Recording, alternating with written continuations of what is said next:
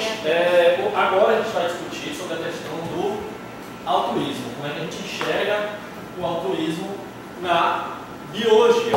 Então, para começar assim, eu queria saber a concepção de vocês. Para vocês, altruísmo existe? Sim. Sim? Sim, você acredita em comportamentos altruístas? Você, Rodolfo, você acredita em altruísmo? Será que desgraça é altruísmo? Você, favor, que acredita. Você é educação religiosa? Ah, dá pra esse tipo do negócio do castor de se jogar na água, pá. Você teve? É, pode ser isso aí. É, porque normalmente a gente. É, é mais fácil você acreditar em altruísmo quando você tem uma concepção religiosa, né? Via de regra, é, quem não tem não acredita em altruísmo, você, que é a religião que dá uma coragem legal. Mas e os outros? Você acredita em altruísmo? Pode que- dar um exemplo de altruísmo? É uma coisa muito rara. Você pode dar um exemplo de altruísmo? Mas isso é raro, você deve ter algum exemplo. Formigas. É, mas entra naquela questão de, de parentesco. Sim, não, mas pense no comportamento humano. Você conhece algum? Você lembra algum caso assim de comportamento altruísta? Fosse dizer, dê um exemplo de comportamento altruísta humano. Só. São Francisco de. Assis. eu Não consigo, não, não consigo imaginar agora eu vou lembrar de. É só. Mas isso daí é, é sucesso individual, porque ela está fazendo, ela está provendo o sucesso da prole dela, que É. é a, continua, a continuação da, da, da linhagem dela. É. Grande, O quê? grande. Gandhi. Tá aí, a gente tem um. A gente tem os exemplos emblemáticos, né? Que são as Mas figuras. sempre ligado à religião, de alguma maneira. Via de regra, sim. Gandhi nem tanto, né? Gandhi era religião, mas era mais uma questão de defesa da cultura dele, sacou? Não é muito religioso, não, acho. Não, Gandhi era religioso. Não, Mas mas não- alguma coisa mas mais, um- mais não. espiritualista do que a Hã? religião propriamente dita. eu acho. Isso, isso, eu acho que sim. Aí você tem mais razão. Gandhi ele tinha uma questão mais espiritualista mesmo, de acreditar que certos tipos de comportamentos é que são o alcance da paz e tudo mais, a questão da não violência. Mas ele tinha uma questão muito forte, né? Que era a questão cultural. Ele queria a independência da Índia? Não, É, era a independência da Índia, né? Isso, ele queria, ele tinha uma questão, então ele estava lutando pelos seus ideais, né? Então a gente observa pessoas fazendo sacrifícios pelos seus ideais também. Mas enfim, a, a concepção de altruísmo, ela é uma, muito complexa. Porque ela perpassa não apenas pela sua visão de mundo, não apenas pelo que você enxerga como certo e errado, mas ela envolve também um, um auto-julgamento, né? Se você disser que você acredita em altruísmo como uma coisa boa, etc., você tem que ancorar isso no seu comportamento, você tem que agir de maneira altruística. Então, é por isso que pela religião é um caminho mais, mais fácil, né? Você tem uma lógica de por que ser altruísta. Se você não for altruísta, você vai para o inferno. É bem. faz muito mais sentido, né? É bem mais direto essa relação. Mas acaba virando egoísmo. É, se você pensar dessa forma, você está pensando em, em ser bom agora para não se foder depois, sim. Ou seja, não existe essa parada aí de começar a entrar no É. processo. É exatamente daí que a gente vai começar. né? A religião normalmente é a maior ancoragem para o comportamento altruísta. Entretanto, quando você vai procurar no, na Bíblia, né, eu achei uma Bíblia online, não tem nenhum resultado de altruísmo. Mas quando a gente. Não essa, o altruísmo ele não é citado especificamente na Bíblia. Mas quando a gente pensa no, no, em abnegação, em auto-sacrifício, em bem ao próximo, normalmente a gente pensa principalmente no cristianismo, né, que tem bem essa raiz de abnegação muito forte. E eu trouxe um- uma parte de Marcos, né, capítulo 8, versículo 35, que ele fala: Pois quem quiser salvar a sua vida, a perderá. Mas quem perder a sua vida por minha causa e pelo Evangelho, a salvará. Que é exatamente o que ele estava falando, né? Que existe uma justificativa clara por que você deve ser altruísta, porque senão você não vai para o céu. Né? Então, é, e é uma educação que a gente recebe desde pequeno. A gente acaba sendo influenciado, principalmente no Ocidente. Bom, aí eu é, fui nos dicionários para ver qual era a definição clara de altruísmo mesmo. Como é que as pessoas utilizam essa, esse termo. Então, no primeiro dicionário eu encontrei inclinação para procurarmos obter o bem para o próximo. Ou seja, seria algo semelhante à filantropia. Então seria inclinação, é uma tendência de você procurar o bem das outras pessoas, né? você buscar isso. Então tem algo com relação a outro, né? No conceito de altruísmo, é algo da relação com o outro no qual você se sacrifica por aquele sujeito. Então, enfim, né, esse próximo está aí é, descrito, né? Pode ser seu filho, pode ser sua mãe, pode ser uma pessoa completamente distante. E filantropia é amor ao gênero humano, está normalmente relacionado à caridade, né? E aí o outro, o outro que eu encontrei foi amor desinteressado ao próximo, abnegação, filantropia. Né? E altruísmo seria o contrário de egoísmo. E esse conceito é interessante porque ele traz justamente a ideia de que seria um amor desinteressado ao próximo, ou seja, seria um ato que você comete com outra pessoa sem esperar absolutamente nada em troca. A gente tem essas duas concepções aí de altruísmo. Né? Já no Wikipedia, eu vi essa definição dizendo que é um tipo de comportamento encontrado nos seres humanos e em outros seres vivos, ó, já tenho, já está um pouco mais amplo, né?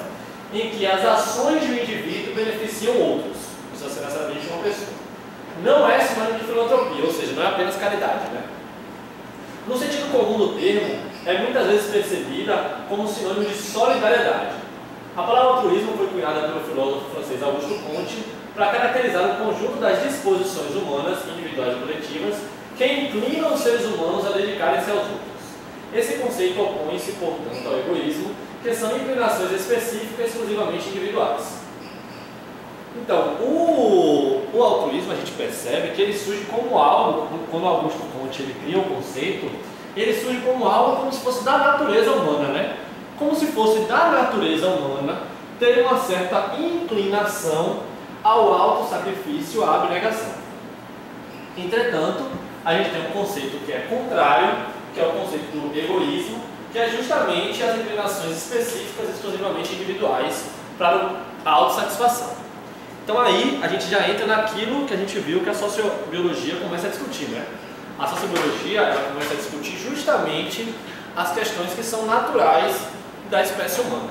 E o altruísmo ele foi criado como conceito, como algo que seria intrínseco, seria algo da nossa natureza, uma tendência a ajudar o próximo. Então, vamos lá. O, o altruísmo, né? É, essa tirinha bem interessante, né? Tem um cara parecendo um prato, por favor, você quer comer isso aqui? Não, por favor, com você. Não, por favor, com você. Então tá, começa bem. Então o altruísmo, na verdade, ele é meio estranho porque ele necessita que alguém aceite o sacrifício, né? Da outra pessoa. Então o cara brinca dizendo que é, inesperadamente ele funciona melhor quando ele é completamente não seguido. Então alguém tem que aceitar o sacrifício de outra pessoa. Então, de certa forma, alguém vai estar sempre obtendo uma vantagem a partir do comportamento altruísta do outro.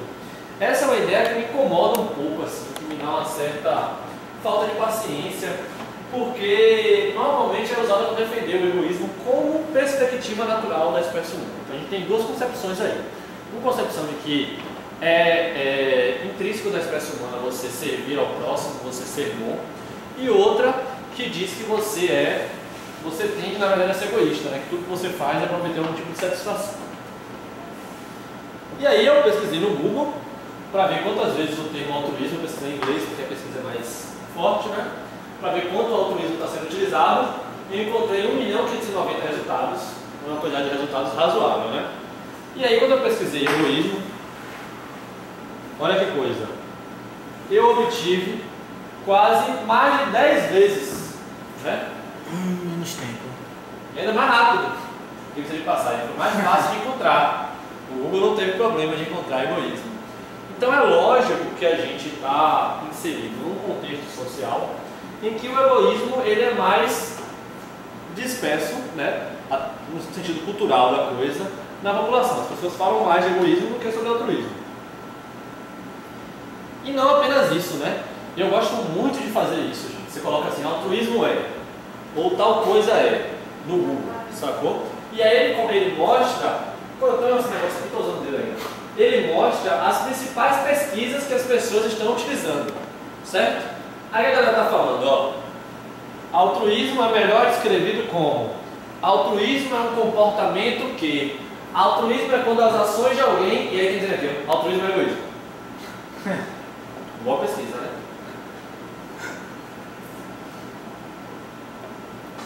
E aí, quando a gente pesquisa egoísmo, olha as coisas que aparecem, né? É... Egoísmo é bom? É, egoísmo é quando um egoísta faz isso aqui. Tá? Egoísta é uma coisa boa. Egoísmo é uma coisa boa. Você vê que a própria pesquisa, além da gente ter um número que já demonstra que as pessoas estão falando mais de egoísmo, a própria pesquisa já demonstra um pouco como é que as pessoas enxergam esses dois conceitos, né? Altruísmo na verdade é egoísmo e egoísmo é uma coisa boa. Interessante. E aí quando a gente pensa nos parâmetros sociais que a gente está inserido, a gente está inserido numa cultura de egoísmo, né? Se você for pensar, o modo de produção que a gente tem é um modo de produção que suscita a competição individual, que você seja é, extremamente competitivo e você se importe cada vez menos com as pessoas ao seu redor. Então a gente tem a, é, essa cultura, pode ser que eu tenho uma, uma mágica assim. Então, a, a gente vive inserido numa cultura do egoísmo, principalmente na, na, na região ocidental, isso é bastante comum. E aí isso está demonstrado na pesquisa que eu para vocês. Você vê que as pessoas assimilam isso como algo extremamente natural. E isso já é falar um pouco do que as pessoas enxergam como essência humana, né? que seria essa essência egoísta. E aí essa ideia, eu acho muito interessante essa ideia que é perpassada de que altruísmo na verdade é uma forma de egoísmo. E tem um autor que é o Franz Leval, alguém conhece Franz Leval? Ele tem livros muito bons como Eu Primata, que são livros que comparam o comportamento social humano com os comportamentos de primatas como chimpanzé e bonobo. Esse Eu Primata é bastante interessante. Se quiser dar uma olhada. Tem outro livro dele que é muito bom, que é... Putz, esqueci, eu só lembro do segundo título, que é Lições Animais para uma Sociedade Humana Mais Sustentável que ele dá, é um livro que ele dá exemplos sobre comportamento animal, mostrando como os animais eles podem ser altruístas e como isso é, é bem. É, a gente tem muito a aprender com eles. Mas enfim, esse autor ele faz uma crítica ao que ele chama de teoria do verniz. A teoria do verniz é algo que ele nomeia, não é algo que ninguém nomeou antes dele, mas a ideia é que, de que se você alinhar um altruísta, você encontrará um egoísta. Então o altruísmo seria apenas um verniz que você passa por cima dos seus comportamentos, mas no final você está apenas tendo comportamentos altruístas para obter algum tipo de benefício próprio. Que é aquilo que você falou, né? A pessoa é religiosa, ela tem um comportamento altruísta, mas ela tem esse comportamento altruísta porque ela tem medo de ir para o inferno. Se uma pessoa tem satisfação fazer bem ela está fazendo aquilo não pelo próximo, mas para a satisfação dela. E aí? É justamente isso que trata a teoria do verniz. De que você, tudo que você faz, na verdade, você faz para procurar autossatisfação.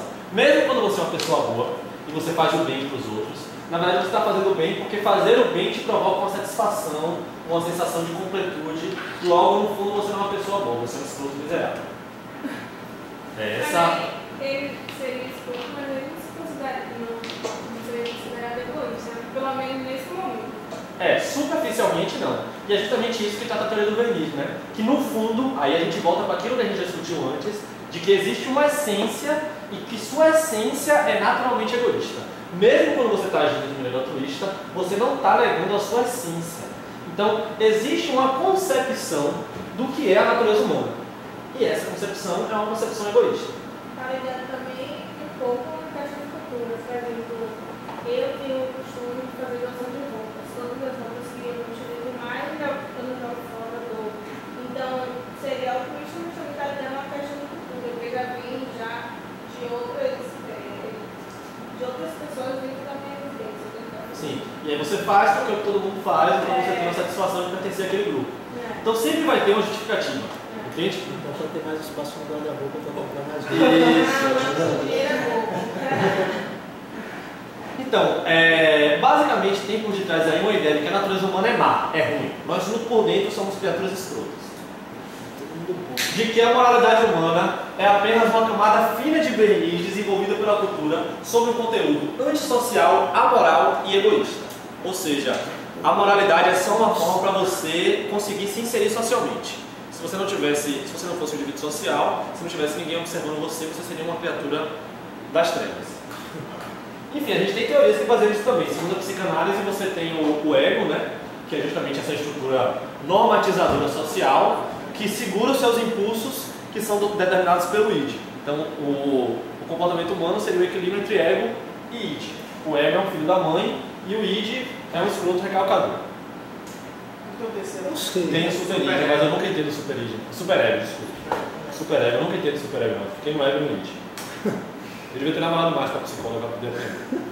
Então, toda atitude é tomada visando o próprio bem-estar e autossatisfação, que foi exatamente o que você falou, né? Você tem um comportamento altruísta, de alguma forma aquilo lhe dá uma paz de espírito, seja porque é religioso, porque você acha que é certo, porque você deixa estar invadido demais, não importa. O que importa é que você sente prazer com aquilo. E se você sente prazer, não é altruísta. A única forma de você ser altruísta é fazer uma coisa que você é, acha certo, mas que não vai te provocar prazer nenhum, você vai ficar puto na verdade. Esse seria um comportamento plenamente altruísta. E mesmo assim, se você estiver respeitando os conceitos de justiça, também não é altruísmo. Né? Então, então não é altruísta. Não existe altruísmo. Calma, vamos chegar lá. Pessoas que ajudam os outros estão apenas atendendo seus interesses para se sentir confortáveis e sem culpa. Ou seja, não existe caridade. Pela, por essa teoria do Vermes. É por isso que a gente diz que o egoísmo ele é uma mansão com muitos quartos. Se você chega e coloca o altruísmo em, em questão, aí você fala, vamos começar aqui, né? Eu falo para você que é altruísta você doar seus bens para caridade. Aí você me responde, não, mas aí isso na verdade é egoísmo. Porque você doou, porque você acha que você fez o que é certo, você vai para o céu por causa disso. Aí eu falo, não, mas eu não sou cristão, não acredito em nada disso. Eu sou ateu, acho que vou morrer, não vai ter mais nada. Ele, ah, mas você fez porque você vai sentir uma satisfação. Na verdade, foi por isso que você fez. Aí eu falo, não, mas eu fiquei puto, eu gostava daquela blusa. Aí você fala, não, mas você fez porque as pessoas vão olhar pra você e vão julgar você como um cara legal. Eu falei, velho, eu sou uma pessoa odiosa, ninguém gosta de mim, velho. Eu fiz porque eu tava com vontade, velho. Ah, então foi essa a vontade. É, Então vocês percebem que o egoísmo é como se fosse uma mansão de muitos quartos mesmo, né? Não tem onde guardar o altruísmo. Sempre vai ter um quarto que vai ser um quarto egoísta. Então, filosoficamente, isso é o que a gente chama de é, beco sem saída. Né? Não tem como eu contra-argumentar se você sempre vai forçar o padrão para conseguir alcançar o egoísmo de alguma perspectiva. Então, na verdade, o que está acontecendo com isso é que você está tentando acessar o nível de introspecção da pessoa, que é inacessível, para conseguir justificar a natureza humana que a gente tem uma pré-concepção. Vocês entenderam? E de onde é que vem isso? Né? De, onde, de onde é que vem essa concepção de que nós somos naturalmente egoístas? Por que, que a gente consegue criar tantas justificativas ruins para o altruísmo com tanta facilidade? Por quê? Porque a gente vem de uma linha filosófica que favorece esse tipo de pensamento. Então, o egoísmo psicológico é algo que surgiu é, no século XIX. Era a ideia de que todo objetivo final de um indivíduo é beneficiar ele mesmo. Tudo que você faz, psicologicamente, seria para ter acesso a algum tipo de prazer. Então nós somos indivíduos voltados para o prazer, né? a obtenção de prazer. E aí o egoísmo é, psicológico ele deu, deu origem ao hedonismo psicológico. O hedonismo psicológico é um pouco mais equilibrado, mas ainda assim é um pouco estranho quando vocês param para pensar. A ideia é que evitar sofrimento e alcançar prazer é o único e último motivo que as pessoas têm. O hedonismo psicológico é base da psicanálise. A psicanálise é totalmente voltada em buscar prazer e evitar desprazer. É isso que, segundo a psicanálise, gira em torno o, a psique humana. E aí o hedonismo psicológico ele deu origem ao utilitarismo de Bertrand Kraft, Bertrand, Bertrand, eu esqueci qual é o sobrenome do cara. Enfim, no qual as pessoas elas devem promover a maior felicidade possível para o maior número de pessoas. Porque isso, com isso, elas teriam uma vida mais tranquila mais, é, mais fácil. Basicamente é, se você cuidar de seus interesses sem afligir aos outros, você vai estar fazendo o melhor para todo mundo. Cuide dos seus interesses apenas e cuide de você. Essa é a ideia do utilitarismo. E o utilitarismo é base das doutrinas liberais, certo? Normalmente a gente está acostumado com o liberalismo só na perspectiva econômica, né? De que o Estado não deve influenciar é, na economia, mas o liberalismo ele também fala muito sobre como os indivíduos eles é, vão ter suas liberdades sociais mesmo, né? Com quem você casa, o que você faz etc. E o liberalismo ele tem uma base de que competição individual é saudável e natural. Os indivíduos eles devem ser livres para competir e para perder também. Então, é, embora a gente não tenha um contexto liberal, propriamente dito, a doutrina liberal interfere bastante na nossa vida e a gente foi muito afetado filosoficamente por ela. Porque a gente vive num sistema capitalista que favorece a ideia de competição individual como saudável e natural, certo? Se você faliu, sua empresa não funcionou, é porque você é um administrador ruim.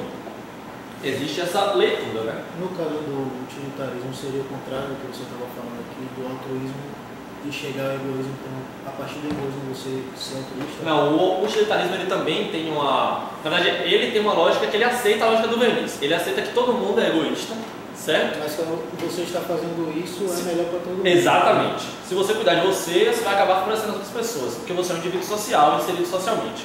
Então ele aceita o egoísmo, mas ele acha que de certa forma você vai obter uma vantagem para as pessoas, sacou? Que é bem o que a galera liberal ah, acredita ainda, filosoficamente falando. Começar com liberal, não conservador, um liberal conservador, nem um neoliberal, mas um liberal mesmo, cru, é isso que eles vão defender. Diga. Se a gente tratar o altruísmo de uma maneira diferente, o conceito de outra forma, não se beneficiar da pessoa, mas se tratar de forma de fitness, uma coisa que usa no fitness e vai aumentar o do, do outro indivíduo. Aí já fica a possibilidade da existência de Bala, você já está indo para daqui a uns 4 slides. Então, deixa eu contar aqui até para 1, 2, 3, 4, 5, 6, 6 slides, exatamente. Esse menino tá prodígio demais. Tá, tá muito prodígio. Eu acho que ele pegou os slides antes. Eu É. estava aqui, você deu para ele olhar. Tudo bem. Tô ligado em você. Então, segundo essa ideia, cada um deve cuidar de seus próprios motivos individuais e essa é a melhor maneira de, de alcançar uma sociedade saudável. Olha, eu não estou apresentando essa merda para você depois vir aparecer liberal comigo não? Eu tô logo te falando. Não precisa ser esquerdista que nem eu, mas você pode pelo menos. Então, é, tudo isso gira em torno de uma procura pela natureza humana, né? E essa ideia de defender o egoísmo como a sala de, de muitos quartos, como tudo sendo egoísmo, é justamente uma defesa de ideias liberais de que você é naturalmente egoísta. E aí Franz Deval, que é um cara que eu adoro, que é um primatólogo inglês, que é um cara que trabalha mais de 30 anos, basicamente ele cuida do zoológico, e aí como ele tem que ficar olhando os as benditos dos macacos, ver se eles estão bem, ele fica anotando as coisas, né? Então ele tem 30 anos de anotação sobre comportamento de chimpanzé e bonobo, e ele pode fazer inferência sobre isso absolutamente bem. Então quais são os livros desse cara, né? Ele tem o nosso primata interno, que ele discute um pouco essa questão da como a primatologia ela pode explicar alguns dos nossos comportamentos, como estudar nossos parentes próximos nos explica alguma coisa sobre nós. Ele tem também o eu primata, que ele faz uma comparação muito interessante entre bonobo e chimpanzé, porque assim, o, o ramo que derivou o nosso grupo, ele derivou também os chimpanzés e os bonobos. Só que a gente é o grupo externo, né? a gente é o mais derivado, o mais diferente. Os bonobos e os chimpanzés eles são, eles são um pouco parecidos. Só que quando a gente compara a estrutura social dos bonobos e dos chimpanzés, nós estamos no meio. Chimpanzé é um bicho patriarcal, violento pra caramba, físico e um animal bastante, bastante escroto, né? Pode parecer um chimpanzé legal, né? Assim, é, não. É um bicho bem. tem infanticídio, a estrutura social é extremamente complexa e cheia de intrigas. Então você tem o alfa, que normalmente é o macho mais forte, mas o macho mais forte ele não consegue se manter no grupo durante muito tempo. Então o alfa tem sempre um beta. O beta é o macho que é mais fraco, mas é o mais fofoqueiro, que é amigo de todo mundo. E aí o alfa só consegue manter a posição dele porque o beta está prestando atenção em todo mundo. E aí quando alguém começa a se preparar para derrotar o alfa, o beta descobre, porque ele está ali no meio do métier, e avisa pro alfa e os dois juntos derrotam.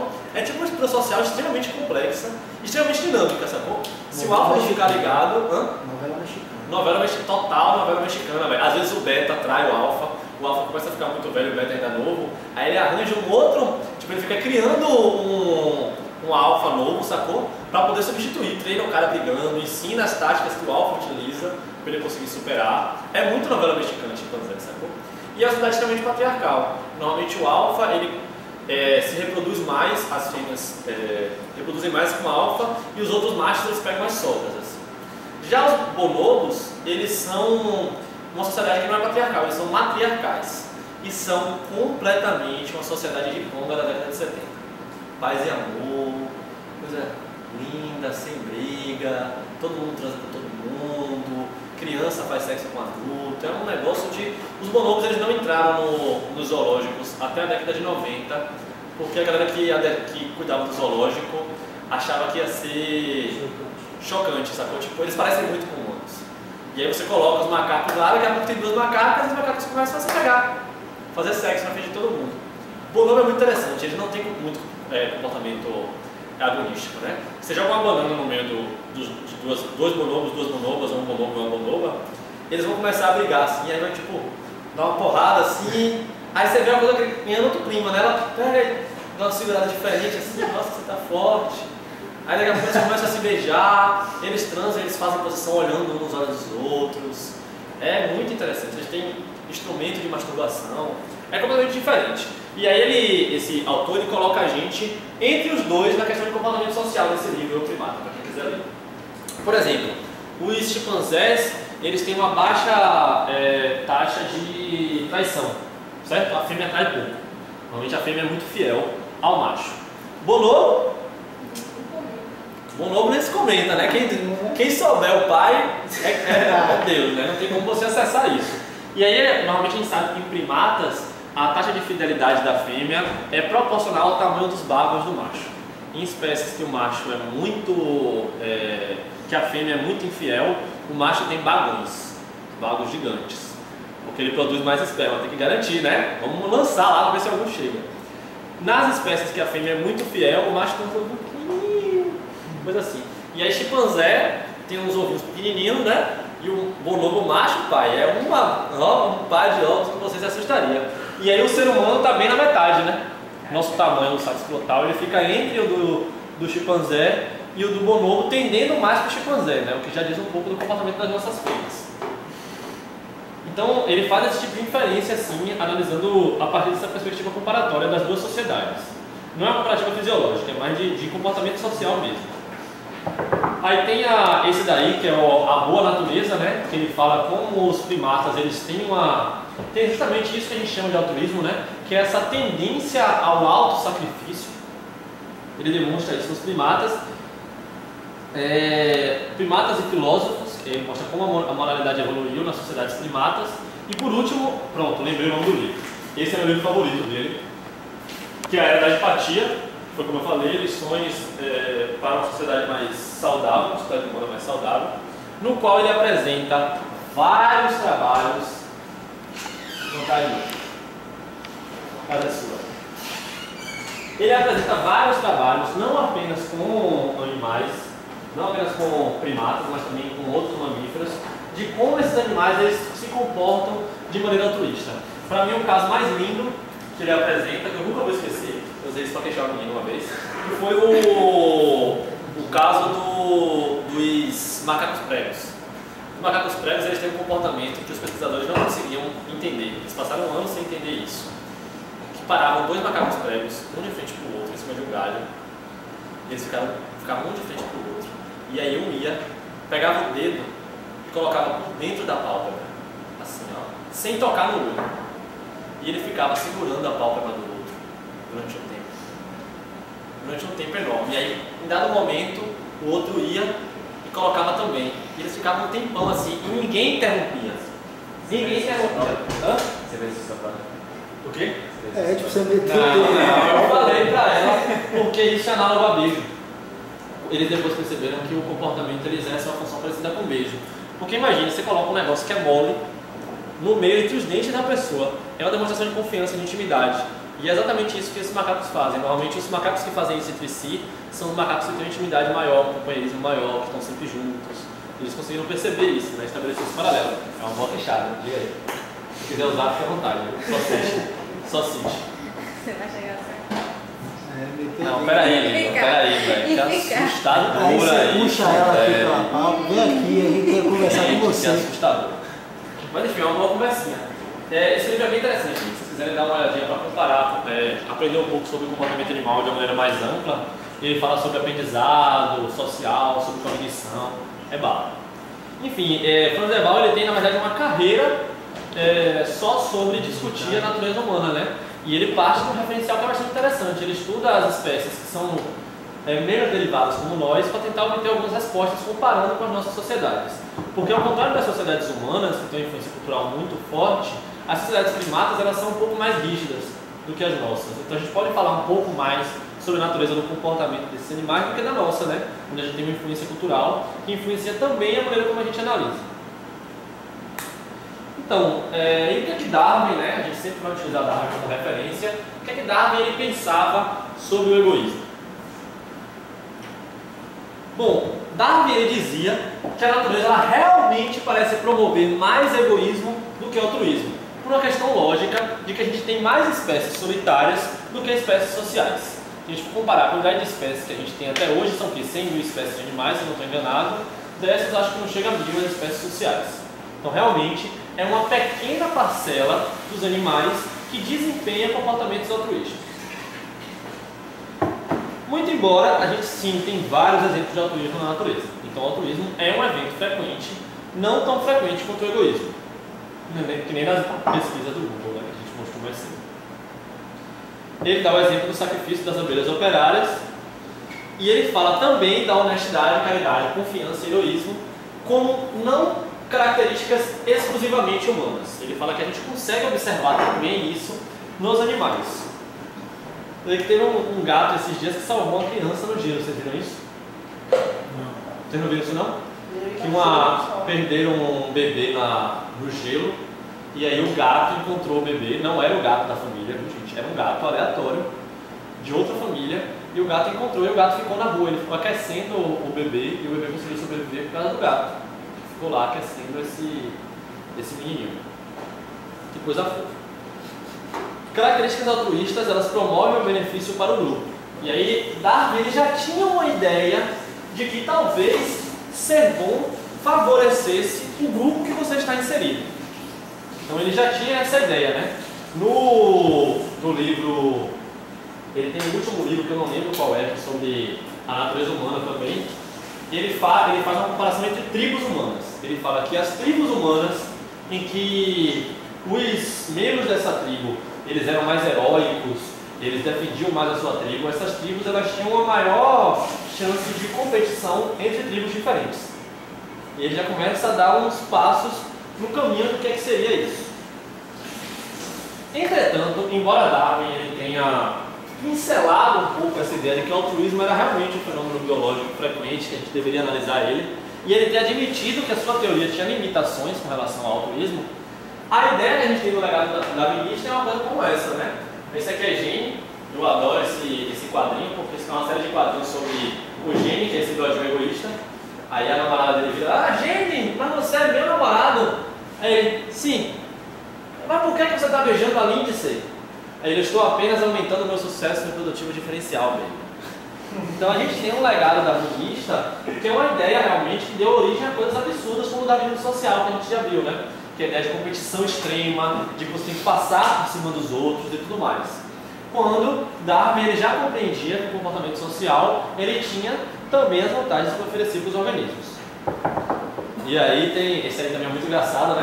O cara pedindo ajuda para o gene, aí o gene faz, não, ele, como assim? Por que não? Porque esse comportamento ele não vai aumentar de maneira nenhuma o sucesso reprodutivo, né? É uma perspectiva de que tudo que os organismos fazem é para aumentar o sucesso reprodutivo, o que é uma perspectiva falha.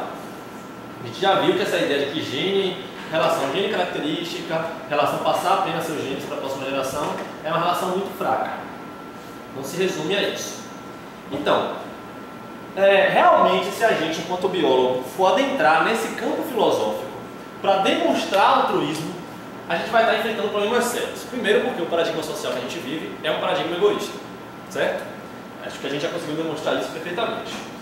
Então, a gente precisa de uma definição que seja a definição biológica do altruísmo.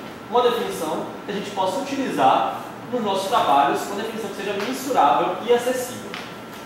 Então, a gente não pode ficar com essa definição de altruísmo ético porque é uma definição que, como a ética, varia culturalmente. A gente precisa de um altruísmo que seja biológico. E para isso a gente vai definir o altruísmo biológico como qualquer comportamento que beneficia um outro organismo a um custo pago por mim. Então eu estou desempenhando um comportamento, eu estou tendo um custo desse comportamento, mas quem vai obter a vantagem não sou eu. Então qualquer comportamento desse tipo a gente pode classificar como altruísmo biológico. Exemplos. Mas, por exemplo, tem um, aqueles cuidados de parentesco nas aves. Cuida dos filhotes. É, cuida dos filhotes. Mas aí ele tá perdendo o fitness naquele momento, só que ele vai aumentar o fitness Não. direto. E aí Ele vai aumentar o fitness indireto. Aqui a gente está falando, quando a gente fala em custo, esse custo em biologia é sempre em sucesso reprodutivo, ou seja, sobrevivência e reprodução. Se eu estou é, investindo energia no cuidado da prole, isso não é altruísmo, certo? Isso é cuidado parental. Altruísmo é quando um outro indivíduo ele recebe, não é a minha prole, um outro indivíduo ele recebe um benefício por um comportamento meu. Um exemplo que a gente tem aqui é o grooming.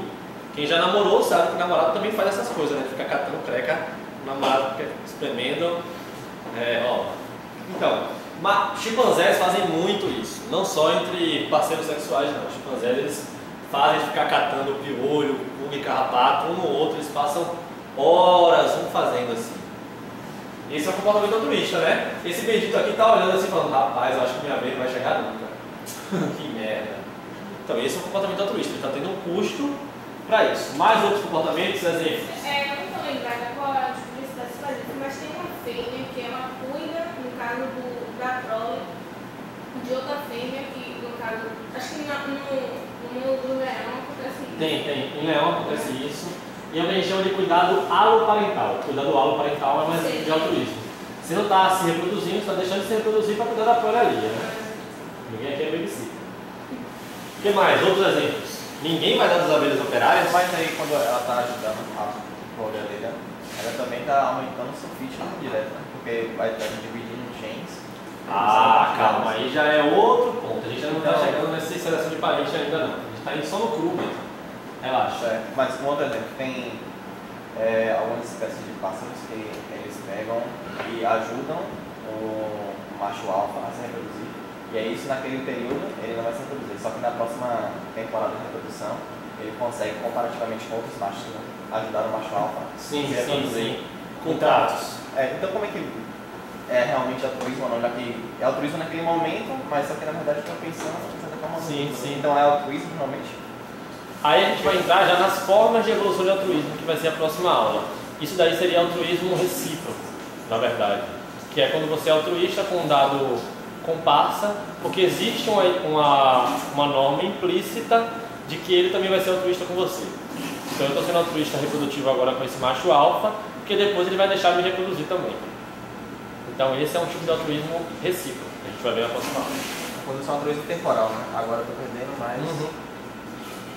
Mas existem alguns casos de altruísmo propriamente dito e a gente vai ver isso. Quando um, um indivíduo fica de vigia enquanto os outros estão ali. Sim, isso é altruísmo também. Porque ele está deixando de, de se alimentar, está tendo um custo para gerar um benefício para o grupo.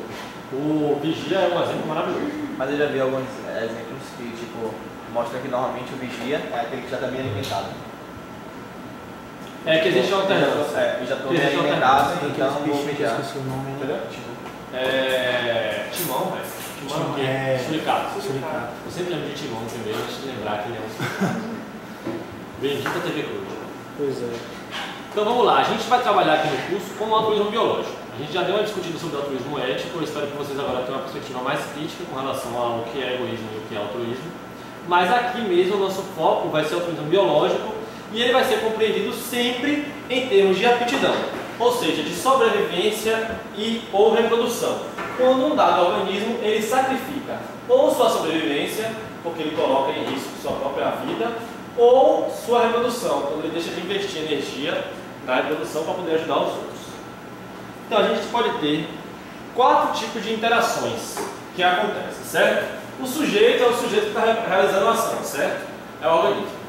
Quando o sujeito coopera e o alvo também coopera, a gente vai chamar isso de cooperação. Quando duas formigas estão carregando uma folha juntas, elas estão cooperando, porque tanto o sujeito quanto o alvo estão trabalhando em conjunto. Agora, quando o sujeito coopera e o alvo ele explora, ele sobe e tem uma vantagem sem custo nenhum, isso sim é altruísmo. Então, cooperação é um tipo de altruísmo mútuo, certo? Onde os dois saem vencendo. Altruísmo mesmo, ele é mais difícil de ser encontrado. E a gente tem o exemplo, por exemplo, dos morcegos. O exemplo, por exemplo, que ótimo isso, né? Os morcegos, é, normalmente os morcegos que não conseguiram encontrar alimento, eles pedem para os morcegos que comeram demais alimento e os morcegos não. Eles passam sangue pela, pela boca, né? eles gorfam sangue para que o outro beba.